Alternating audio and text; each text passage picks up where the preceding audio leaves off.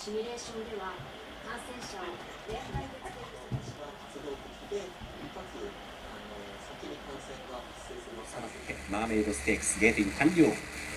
スタートしました。好スタート12番のアンドラステ飛び出しました。横一線で3一1番のシャムロックヒルダッシュよく飛び出していきました。